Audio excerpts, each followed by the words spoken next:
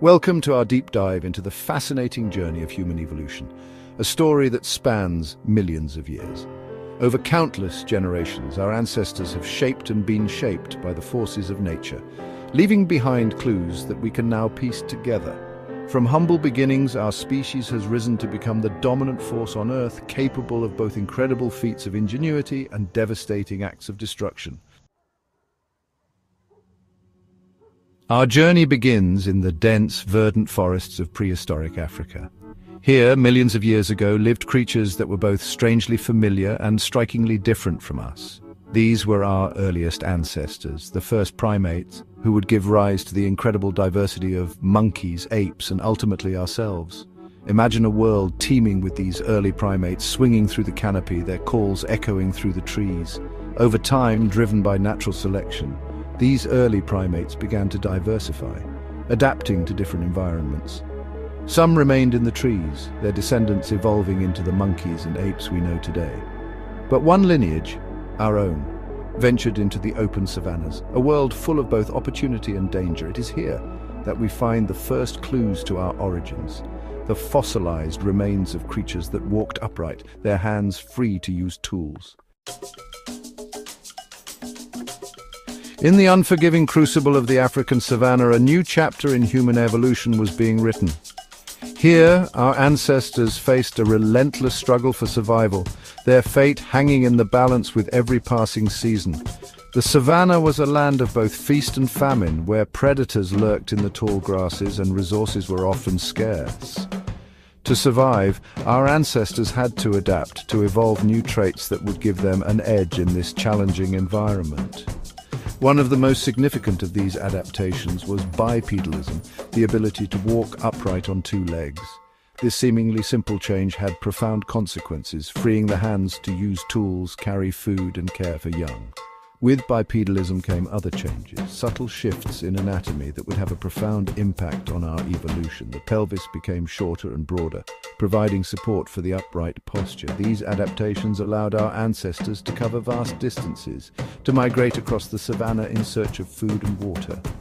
The challenges of survival in the savanna demanded greater intelligence, the ability to plan, to cooperate, and to outwit both rivals and prey.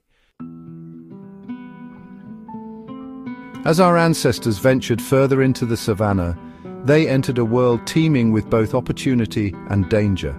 To survive, they would need to harness their intelligence, to develop new skills and technologies that would give them an edge. One of the most significant milestones in human evolution was the development of stone tools. These early tools, crude by today's standards, were revolutionary, allowing our ancestors to access new food sources and defend themselves. Imagine the scene. A group of early humans gathered around a rocky outcrop, carefully selecting stones with the right shape and size. With a few deft blows, they chip away at the edges, creating sharp flakes that can be used for cutting, scraping and piercing. These early tools, known as Oldowan tools, were simple but effective. They allowed our ancestors to butcher carcasses, accessing the nutrient-rich meat and marrow essential for survival. The development of tools marked a turning point in human evolution, signifying a shift from simply reacting to the environment to actively shaping it. As our ancestors became more skilled toolmakers, their brains continued to evolve, growing larger and more complex. As the millennia passed, the hominin lineage continued to diversify, branching out across Africa and beyond. Different groups adapted to different environments, evolving distinct physical and behavioral traits. Among these groups were the robust Australopithecines, characterized by their powerful jaws and large teeth, adaptations for grinding tough plant matter.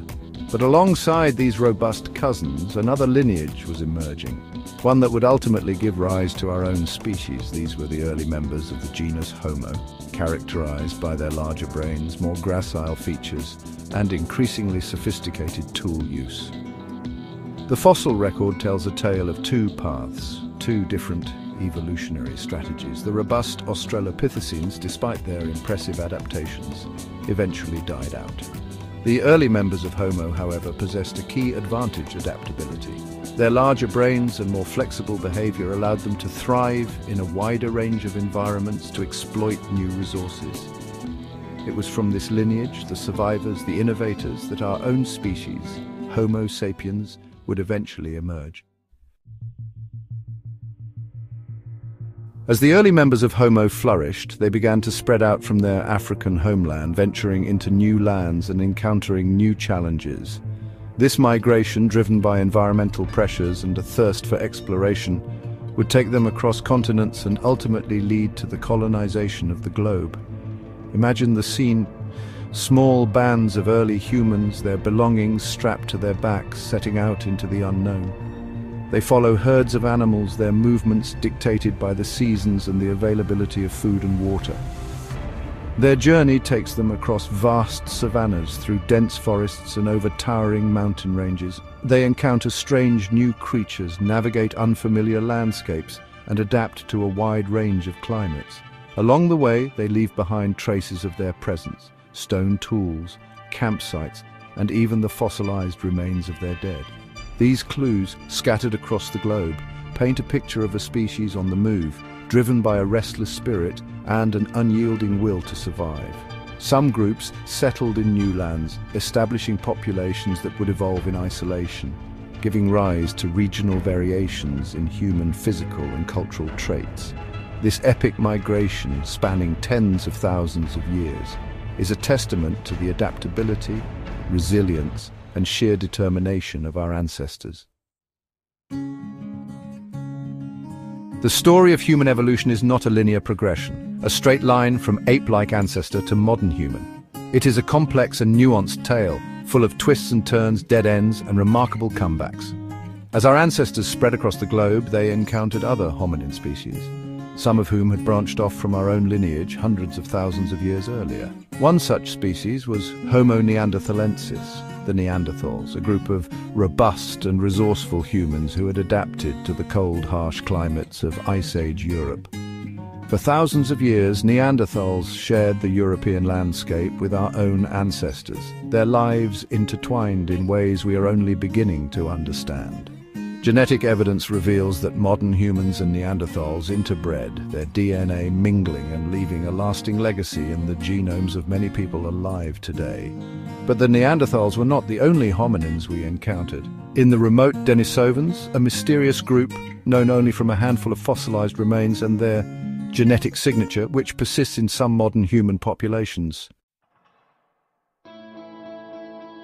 Um, as our ancestors spread across the globe, they carried with them not just their genes, but also their culture, a complex tapestry of knowledge, beliefs and practices passed down from generation to generation. This cultural evolution, running parallel to our biological evolution, would prove just as significant in shaping our species, driving innovation, fostering cooperation, and ultimately setting us apart from all other animals. Imagine a group of early humans gathered around a fire, their faces illuminated by the flickering flames. They share stories, their voices rising and falling in the night, passing on knowledge of hunting techniques, tool-making skills, and the history of their people. This ability to communicate complex ideas, to share knowledge and experiences, was a game changer, allowing for the accumulation of wisdom and the transmission of cultural innovations across time and space. With language came the ability to cooperate on a larger scale, to coordinate hunts, to build shelters and to defend themselves against predators and rivals. It allowed for the development of social structures, hierarchies and alliances laying the foundation for the complex societies that would emerge later.